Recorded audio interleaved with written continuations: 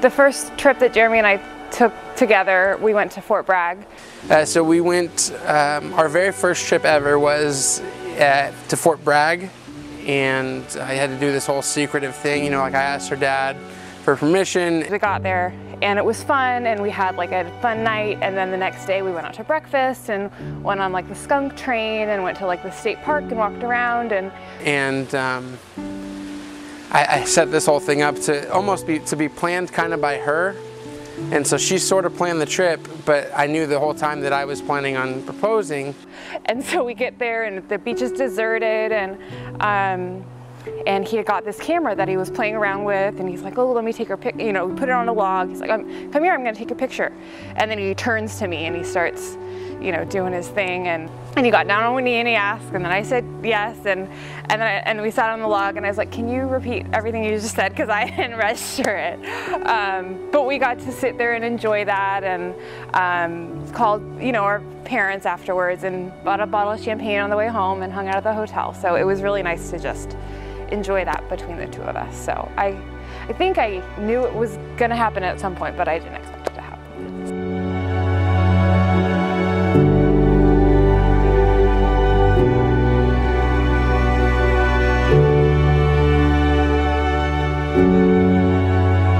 he just has this really easygoing nature and like he doesn't let very many things get to him and so that's really nice. Stacy is one of if not the most caring person that I've ever met and I don't really know how else to explain it other than she gets me and she is just someone she's probably the only person that I've ever been with that, that I've ever known really that just um, accepts me and likes me for the way that I am. And I feel the same way. Jeremy, I love you and I'm looking forward to spending the rest of our lives together.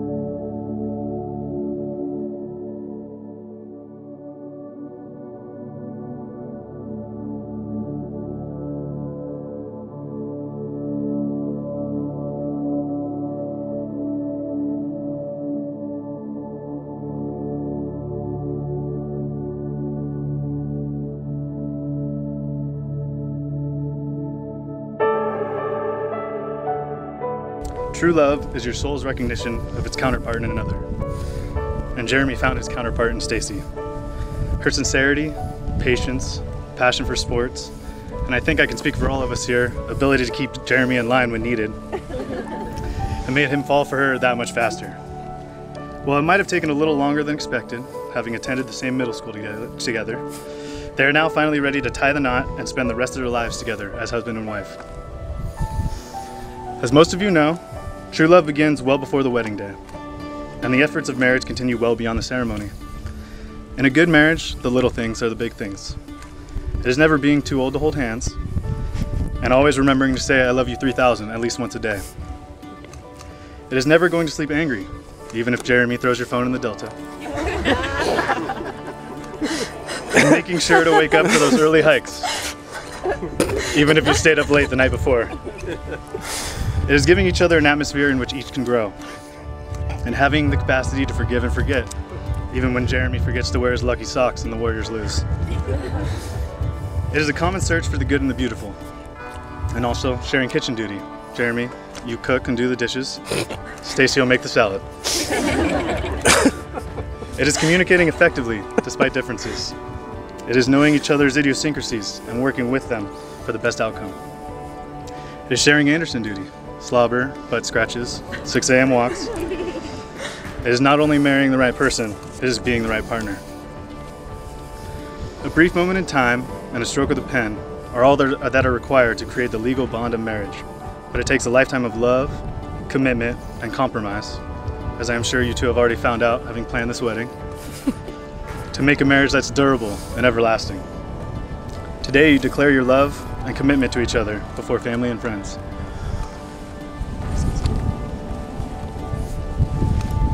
Now, Stacy, please hold Jeremy's hands, palms up, so that you may see the gift that they are to you.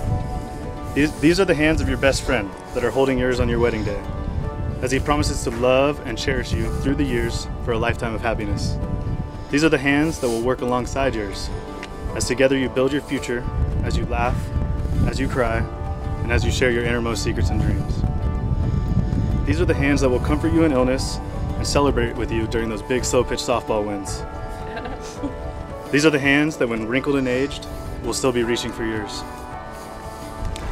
Now, Jeremy, please hold Stacy's hands, palms up, so you may see the gift that they are to you. Uh, these are the hands of your best friend that are holding yours on your wedding day, as she promises to love and cherish you through the years for a lifetime of happiness. These are the hands that will hold you tight as you struggle through difficult times these are the hands that will comfort you when you are sick or console you when you are grieving during these seemingly never ending rebuilding years for the 49ers. Okay. okay. All right. These are the hands that, when wrinkled and aged, will still be reaching for yours. These are the hands that will give you support as she encourages you to chase your dreams.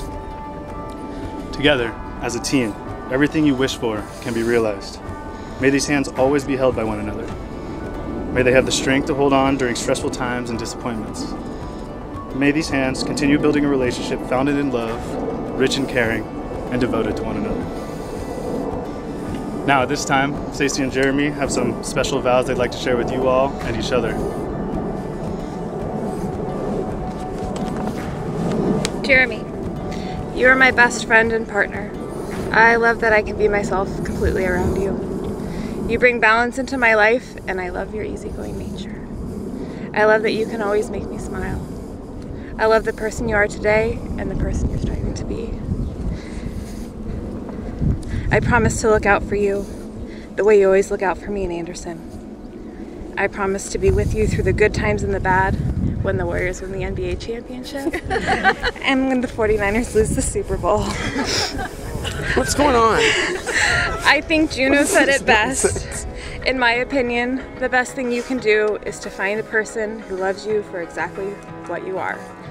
Good mood, bad mood, ugly, pretty, handsome, what have you. The right person will still think the sun shines out of your ass. That's the kind of person that's worth sticking with. I love you and I look forward to laughing you with you for years to come. Wow. Was, do I have to go? That was way better than what I wrote. Uh, whew, that really was way better than what I wrote. Should we hold on and see how I never really believed in fate or that two people were meant to be together. But when I started thinking about our relationship and the fact that we met 10 years ago and that was insignificant, or it seemed like it at the time, and then we, we came back into each other's lives and we remembered that. And I think about all the the weird and funny and different things that had to happen for us to be standing up here today, getting married. And it, it makes me it makes me believe that the universe wants us to be together. and um, I don't know if if that's just me making that up in my head or or what, but I don't think that it matters. What matters is that that we're together and that I love you from the bottom of my heart and I can't wait to spend the rest of my life with you. That's all I got. I like it. From the heart. Well, with this understanding, do you, Jeremy, promise to love Stacy and respect her, to share your life and your dreams, to build with her a home of, uh, a home that is a place of love, happiness, commitment, and growth? Do you promise to be a companion to Stacy in all of her successes and failures, her happiness and her sadness? To always give to her your unwavering support and above all else the freedom to be yourself? I do. And to you, Stacy, with this understanding, do you promise to love Jeremy and respect him? To share in your life and your dreams? To build with him a home that is a place of love, happiness, commitment, and growth? Do you promise to be a companion to Jeremy in all of his successes and failures, happiness and his sadness? To always give to him your unwavering support and above all else the freedom to be himself? I do. Now it's my understanding you have for each other a ring. These rings have no beginning and no ending, which symbolizes that the love between you will never cease. You place these rings upon each other's fingers as a visible sign of the vows which this day have made you husband and wife. Oh, okay. I'll take this one, I guess. Yeah. So first, Jeremy, as you place the ring on Stacy's finger, please repeat after me.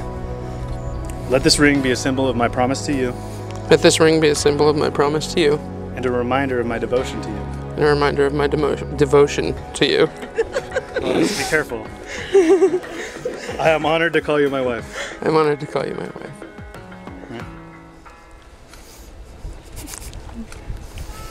Now, Stacy, as you place this ring on Jeremy's finger, please repeat after me. Let this ring be a symbol of my promise to you Let this ring be a symbol of my promise to you and a reminder of my devotion to you. and a reminder of my devotion to you. I'm honored to call you my husband. I am honored to call you my husband.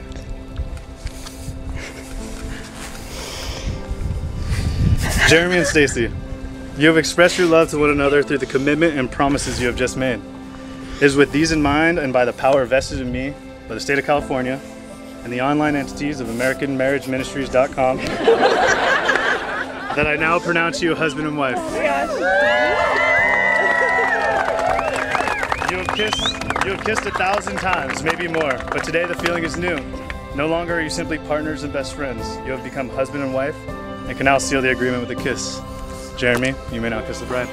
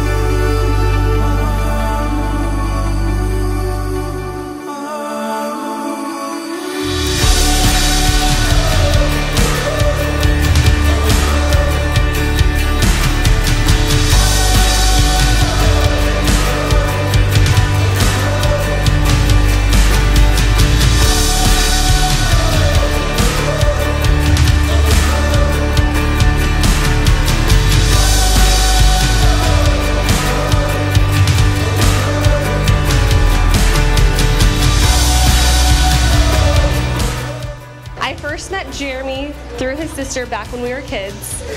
I played softball and was in the same Girl Scout troop as Christina. Jeremy and I then reconnected as adults when he was filling a softball team for a slow pitch co ed league. After multiple league championships, we had gone from teammates to drinking mates and then to roommates as he rented a room from, from my husband and I. When he finally got the eviction notice due to the uh, birth of our upcoming baby, the only thing Jeremy asked for in return was to keep his birthday off limits. So, of course, we had to go against all his wishes. And our daughter Charlotte now shares a birthday with her uncle Jeremy forever.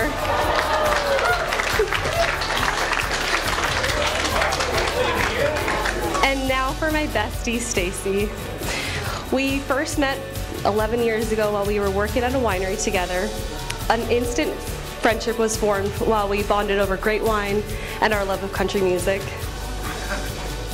Stacy has been one of my biggest supporters through the years, so naturally I've always wanted the best for you. And my husband Adam, I, Adam and I had gone on several double dates with her, but I always felt, I always left feeling disappointed because I knew you were never truly happy, and I always wanted you to find your Mr. Right. You know, someone who could appreciate your loyalty,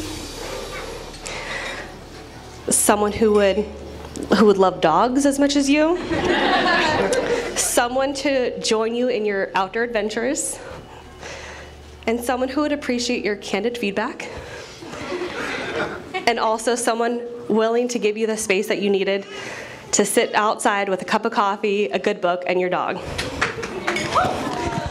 Fast forward three years ago to our slow pitch softball team. Our team was in need of, a, of an- another girl to play on our team, and I knew the perfect person. It's Stacy. As far as I knew, Jeremy and Stacy were just teammates and friends and nothing more. That was until a girls' trip up to Tahoe, and I had seen Jeremy's name pop up on her phone multiple times. So I finally looked at her and I said, Jeremy? Like Rosenblatt? From the team? And Stacy had played her best poker face I had ever seen. And she dismissed all my questions. And then the greatest thing happened. They clicked. They complement each other's strengths and they're better together. And anyone who's been around them can see how effortless their love for each other is. Stacy has finally found her Mr. Right, and I'm so excited to be up here to celebrate your love tonight. So I love you guys. Let's raise a, a toast to the new Mr. and Mrs. Rosenblatt.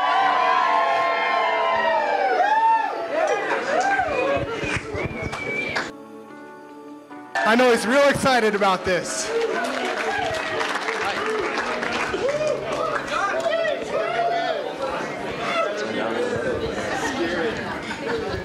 This is a lot of words. Hey everybody, I'm Josh. I'm really good. um, I'm gonna try to make this quick because I have to go to the bathroom. Um, I've been told by a pretty trustworthy source. I met Jeremy about 27 years ago, San Ramon Regional Hospital. Since then, I've taken everything I could from him, from his mannerisms to his clothes, even his email address, jdog1 at yahoo.com. He met up with me about six months ago and he's like, hey, I really don't want you to speak at my wedding, but you're my only brother. So here we are. I want to start off by thanking everybody for coming. There's a lot of people here. Everybody came from all over the place. Livermore, San Ramon, New York, Maryland, Jersey, yeah, all over. And it amazes me how far people are willing to travel for some free food. Special thank you to the parents, Jeremy's parents, Jerry and Carol, who are also my parents, and Stacy's parents, Tom and Kathy. Without you guys, I'd probably be giving this speech at Porky's Pizza, so. Thank you so much.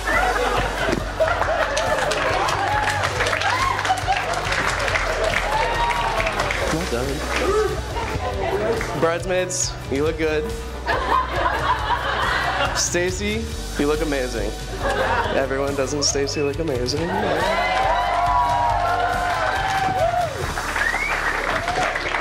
You could have shaved. Growing up with Jeremy as my older brother uh, was interesting to say the least. I know he looks a lot older than me, and it surprises people that um, we're only 16 years apart. or so. He was actually a pretty good older brother, though. Uh, he taught me a lot. He was there for a lot of my firsts. Uh, he taught me a lot about drinking alcohol. taught me how to delete my internet browser history.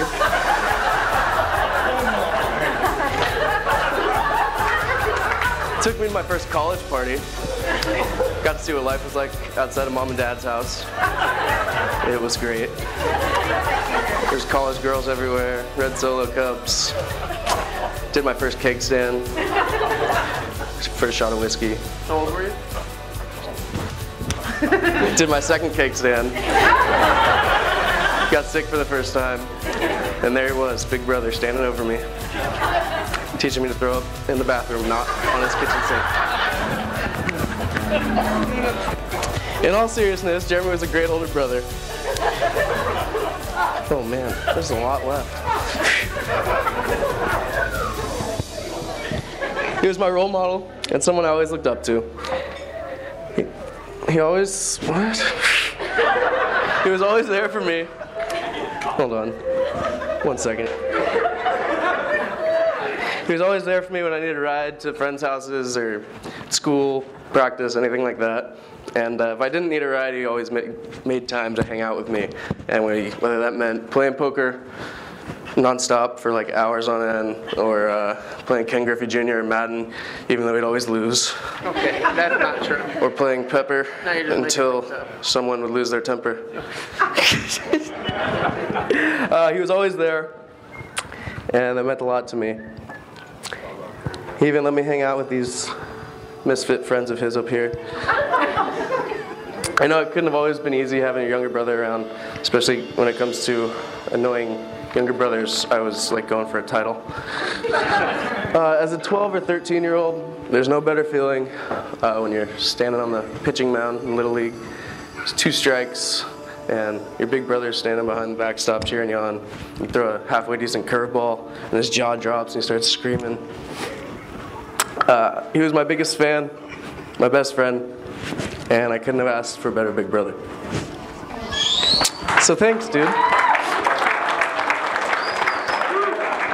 Now, Stacy. You're beautiful, smart, kind, funny. You're really good at spreadsheets. and most importantly, you make my brother happy in a way that I never could.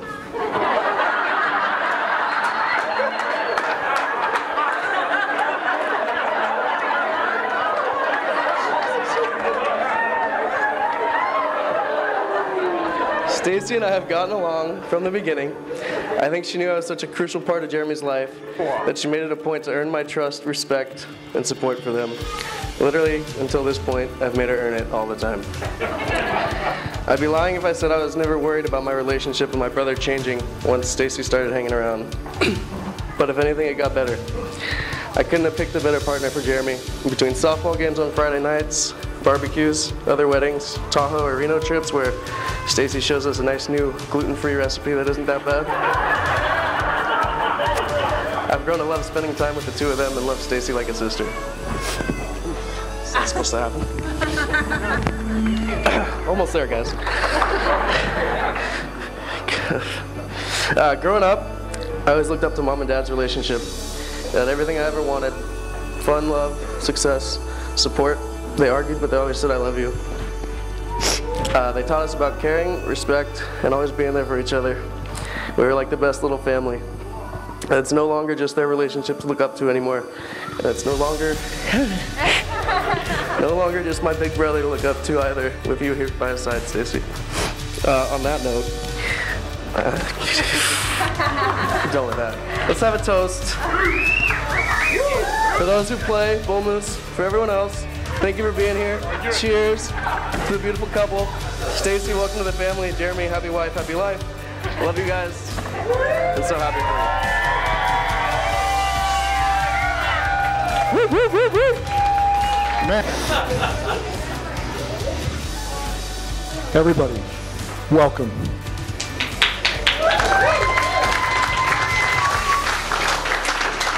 On behalf of the Comptons, the Rosenblatt families, we can't thank you enough for your travels to be here today to celebrate this incredible day.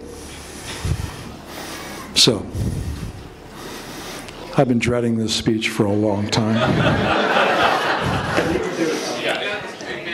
No less than 65 people have asked me, Tom, how you doing? So, I'm going to enjoy this.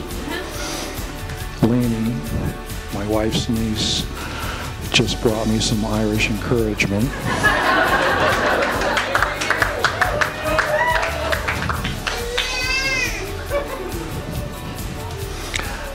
As I look at my daughter, the bride, I can't help but reflect on all the years that I've been so lucky to watch her grow from a little t-ball player to this wonderful woman that she's become today. Yeah. And now she marries Jeremy, her guy, a wonderful guy, her man. And Kath and I are feeling a lot of pride to watch them embark on their life together.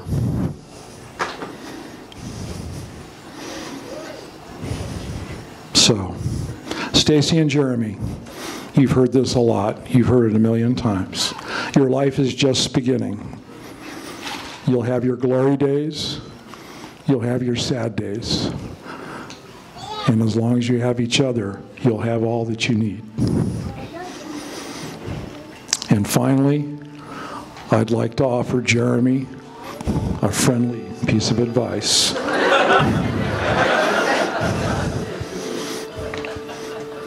because about 16 months ago, I got a text. Hey, Tom, have you got time to hook up for a beer?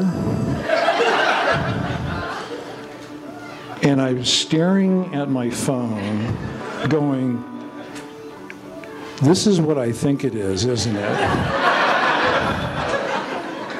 so my hat's off to Jeremy because, you know, I know it wasn't easy. And he was hoping that if I could just get through a half hour with Tom. So I made it a point that Jeremy would stay there and drink for two and a half hours.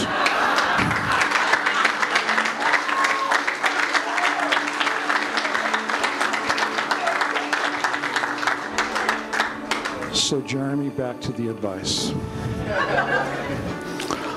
On those days when you're wrong and Stacy's right, admit it. And on those days where you're right and Stacy's wrong, don't say a word. Would you please raise a glass to Stacy and Jeremy Rosenblatt? Thank you all for coming tonight.